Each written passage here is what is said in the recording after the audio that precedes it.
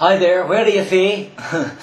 I listened to your video there, I've just listened to the other video, the men and women video, the original one, and you responded with this video. So I'd like to congratulate you with excellence there of your of your video. Uh, the, uh, I mean, it is an excellent video. You spoke very well.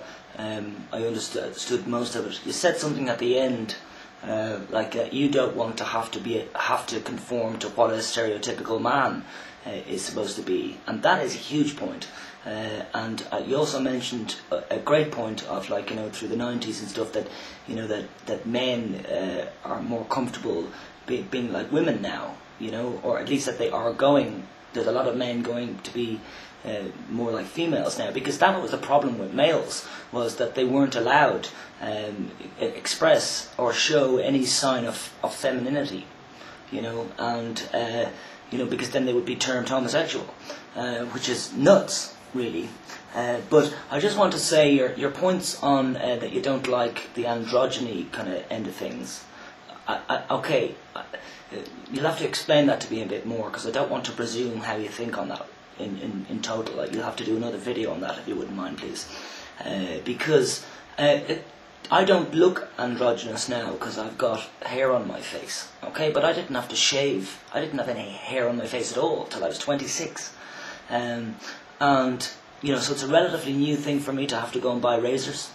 Uh, so, um, it's very expensive too, I have to say. Um, but anyway, um, you know, the fact is that there are a lot of androgynous people in the world that look androgynous, that they don't look male or female. Now, why don't they look male or female?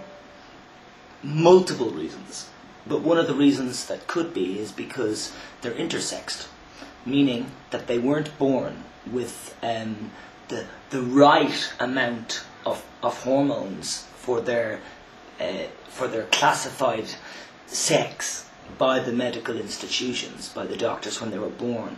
Uh, either a hormonal thing or it could be a genetic thing, and obviously I can speak more about the genetic thing because I am a genetically, you could call genetic mutation. I wouldn't call myself a genetic defect, uh, although many doctors would. Um, I was born with XXY chromosomes, and um, there are many things about me that are more on the feminine side if we're continuing on in this silly, nonsensical uh, society understanding that there actually is feminine uh, characteristic and masculine characteristic.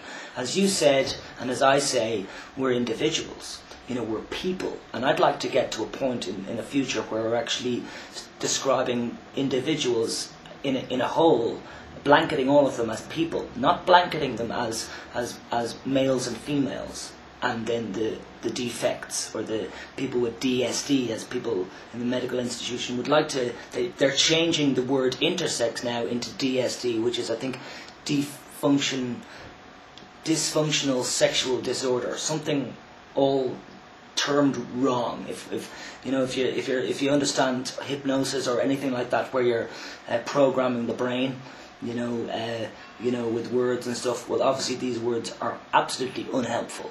You know, they, they they make matters worse. What also makes matters worse is for for anybody. I'm not getting personal with you here, too, too much. Or you know, I'm definitely not attacking you and I'm not get, getting at you. I don't want to get at you, but I want to say to you that people like yourself that say that you're uncomfortable, unhappy, don't like the androgynous end of things, uh, that's fine. You don't have to like it, just like I don't like bananas.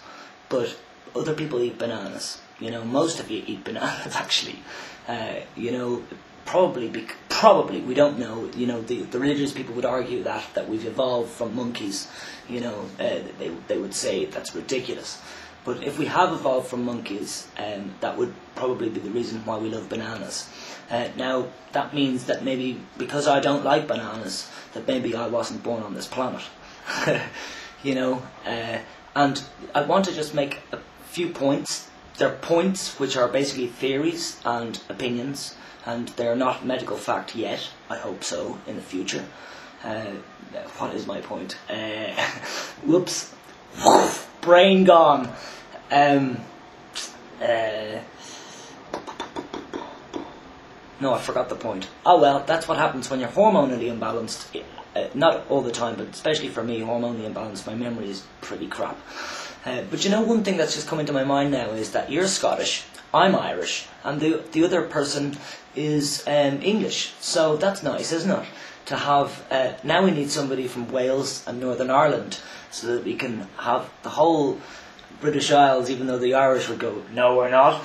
Uh, you know, but uh, you know, it'd be nice to have everybody from from the so-called British Isles, like Britain and Ireland, um, uh, all together talking about this, because I feel that those nations are the ones that are extremely screwed in the head, you know, um, on these subjects because of the religious um, oppression and the religious oppression against women.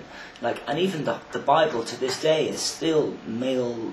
Uh, it's absolutely male orientated. There's really feck all the mention of the of women in it and stuff like that. So anyway, gotta go now. Yeah, the girlfriend is here. She's been quiet. Ciao, ciao.